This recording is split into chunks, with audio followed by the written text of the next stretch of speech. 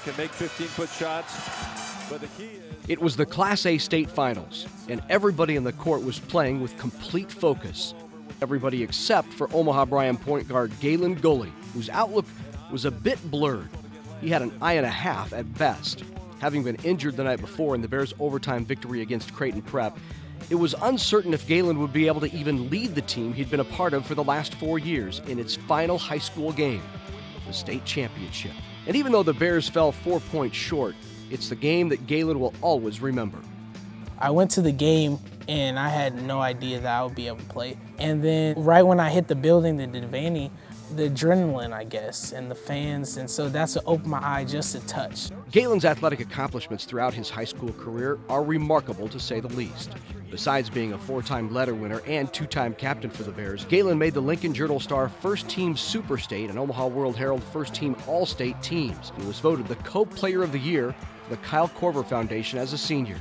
He's twice been titled the Nebraska Black Sports Hall of Fame Athlete of the Week and has even been the cover of We've Got Game magazine, which included a feature article about him. It is just in blood, actually. Uh, my mom was an all state basketball player at South High. My grandpa, my grandma played volleyball. Ever since he was three, Galen has lived with his mother and grandparents.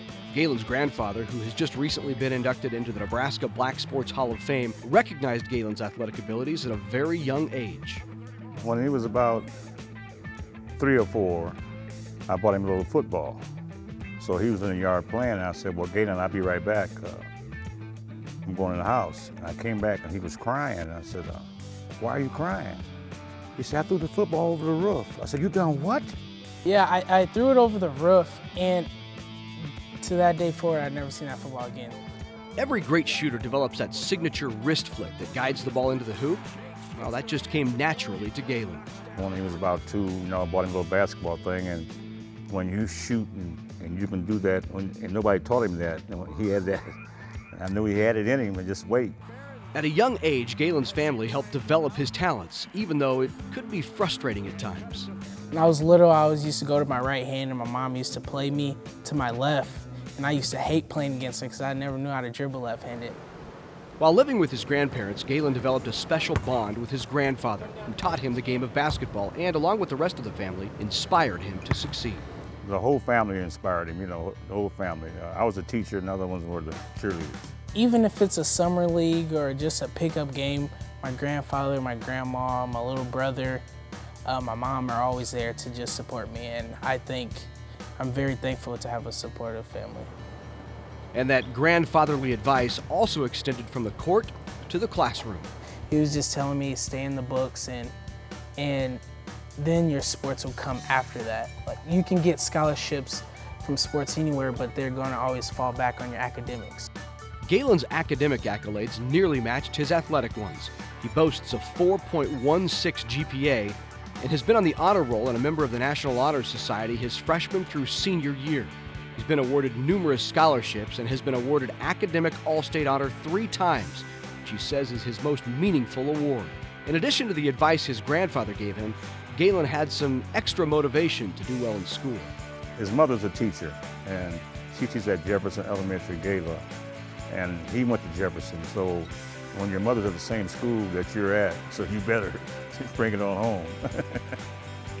Along with his athletic and academic endeavors, Galen is also a member of numerous clubs and even finds time to volunteer at his old elementary school. I'm an alumni from Jefferson Elementary, and um, every summer, like during summer school, they have a PE course, and I always go out there and run a little basketball camp for the kindergarten through third grade actually. So it, it's pretty funny. It's pretty humorous to all the little kids. But everybody looks up to me, so I have to be a good role model for them. Galen has become pretty well known for the white streak in his hair and the mark on his forehead, a hereditary birthmark that Galen wears with honor. He says it's a, it's a mark from God. That's the way he puts it, Galen. Actually, my great-grandmother started it. She was the youngest out of eight kids, and she was the only one in her family had a birthmark, and then she carried it on to my grandfather, and then my grandfather had my mother, and so it carried down to me. Galen will attend Midland College to continue playing basketball this fall and also continue to be motivated by something his grandfather told him he says he will never forget. the day that he was just saying that sky is the limit and there's always someone out there working hard. Oh, that's it. Victorious.